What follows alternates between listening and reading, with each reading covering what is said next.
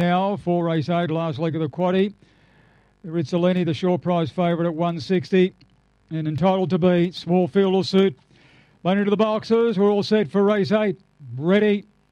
Racing now and Powder Rush got away beautifully in the centre of the track. Vitavici's come out tonight and straight across the lead. Powder Rush. Rizzolini the outside of Powder Rush. Oh, followed in by Alicia's Tang. Winning Secret the tail ender. Uh, into the back and Vitavici is out by four. Rizzolini's into the clear and hard after it. A length off the Powder Rush. A long break in the field. Alicia's Tan and Winning Secret. Vitavici comes to the corner a length in front. Rizzolini's going to make it a race in the run home. Vitavici still a length a half in front trying to get to it is Rizzolini and got it on the line. Rizzolini got up to beat Vitavici. Now third home of the race, maybe winning secret from the fading powder rush. And last in was Alicia's Tan in the time of 30 and 66.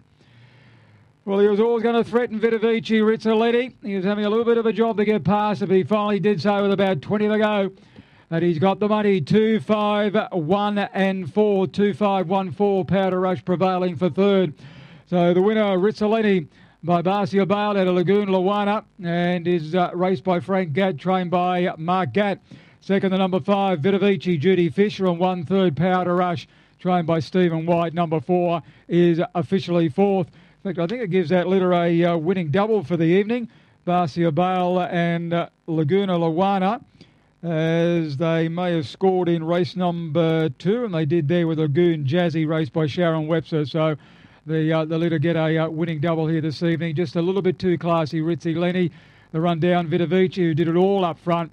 And Powder Rush just couldn't stay with him over the concluding stages. One by seven and a half the margins, one by seven and a half, 30 and 66 is the overall time. 2514, sections of 519, 1536 on the eighth event.